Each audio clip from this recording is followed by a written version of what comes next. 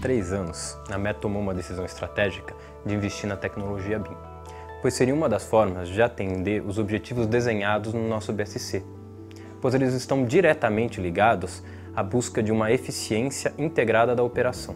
Nesse sentido, o BIM pode agregar muito, porque os projetos deixam de ser meras representações gráficas e passam a ser elementos que podem carregar todas as informações que a empresa precisa para gerir os seus projetos de forma integrada. Informações de custo, prazo e qualidade vinculadas ao escopo passam a ser agora o nosso projeto em BIM, uma base única reunindo todos os parâmetros necessários para a gestão integrada.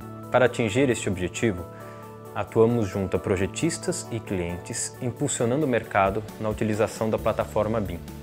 Investimos em processos e sistemas que possam permitir a extração dos resultados pretendidos. A utilização da tecnologia BIM da Autodesk na coordenação de projetos vem sendo utilizada cada vez mais, principalmente nos casos em que atuamos na pré-construção, que é quando podemos acompanhar os projetos desde a concepção até o detalhamento executivo. Nestes casos, podemos é, utilizar a tecnologia para várias finalidades. Para isso, a Método vem capacitando seus funcionários, garantindo assim a disseminação do conhecimento e a divulgação da tecnologia, para que num futuro próximo todos os nossos projetos já sejam desenvolvidos na tecnologia BIM.